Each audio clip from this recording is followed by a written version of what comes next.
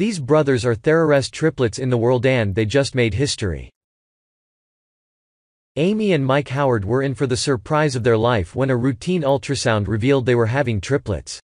To conceive triplets without the help of fertility drugs is rare enough. But things got even more unusual when the couple learned all three triplets share the same rare birth defect. And after undergoing corrective surgery at just 11 weeks old, these little miracles made medical history. When Hunter, Jackson and Kaden were born, it only took a few days before doctors noticed something wasn't quite right. Hunter and Jackson, who are identical, had skulls that protruded in the back.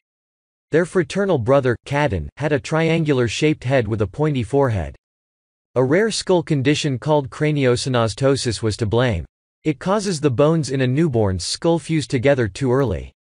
And as far as doctors can tell, this is the first case where all three triplets share the same rare birth defect. Craniosynostosis occurs in only 1 in 2,500 births. So, for all three boys to have this same defect is unheard of. The defect can limit brain growth, so the triplets needed corrective surgery. Your skull is made up of plates, it's not a single bone, Dr. David Chesler, the pediatric neurosurgeon who operated on the boys, said.